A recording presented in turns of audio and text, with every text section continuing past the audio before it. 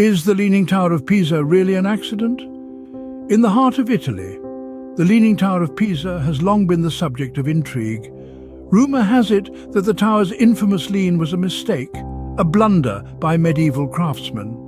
However, the truth is far more fascinating. The tower's lean is the result of soil instability, a problem that was known during its construction. Engineers of the era didn't miscalculate. Instead, the tower's continued existence is a testament to their ingenuity in stabilizing the structure, even in the face of natural adversity. Traveling east to the Great Wall of China, a myth as colossal as the structure itself persists. It is often said the Great Wall is visible from space. Yet satellite images and astronaut testimonies reveal a different story. The wall, despite its impressive length, is simply too narrow to be seen from such a great distance, debunking this long-standing myth. Next, we turn to the brutalist architectural movement of the mid-20th century. Brutalism, with its raw, unadorned concrete structures, is often dismissed as ugly architecture.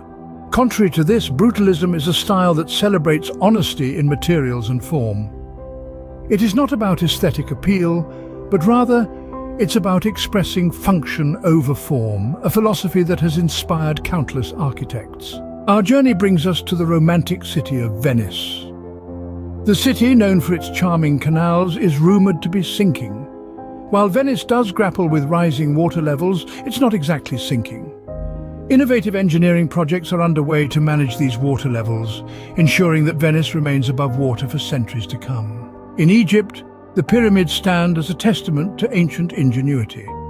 Yet the myth persists that these structures were built by slaves.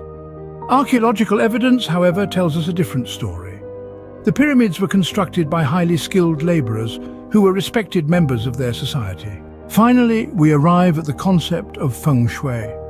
Often dismissed as superstition, feng shui is in fact a philosophical system that guides spatial arrangement and orientation in relation to energy flow. It's a complex and sophisticated practice that has influenced architectural design for thousands of years. In conclusion, We've explored the reality behind the Leaning Tower of Pisa's lean, debunked the myth of the Great Wall of China's visibility from space, celebrated the philosophy of brutalism, clarified Venice's relationship with water, revealed the skilled labour behind the pyramids, and acknowledged the principles of feng shui.